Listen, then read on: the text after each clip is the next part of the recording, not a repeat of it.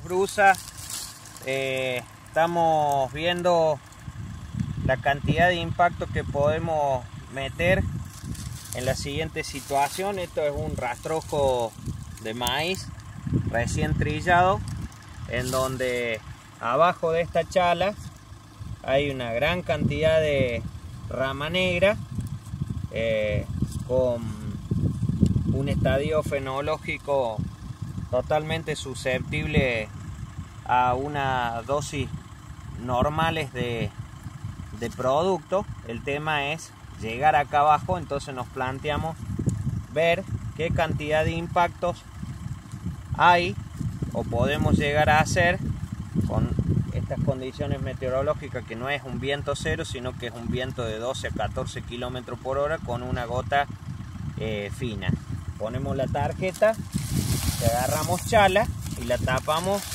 tal cual esté la rama negra en el, en el lote.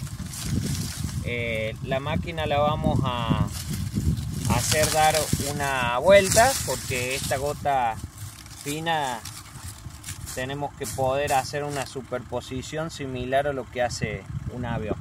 Vamos a ver qué resultado tenemos.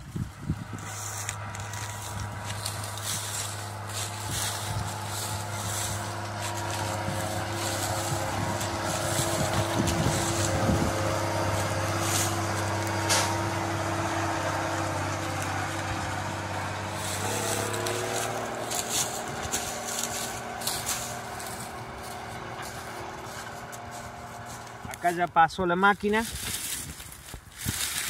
Vamos a destapar la tarjeta ¿sí? ustedes vieron cómo estaba tapada.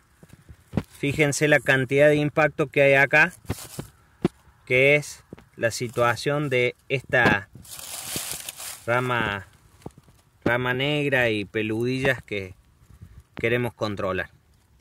Esto es un nivel de cobertura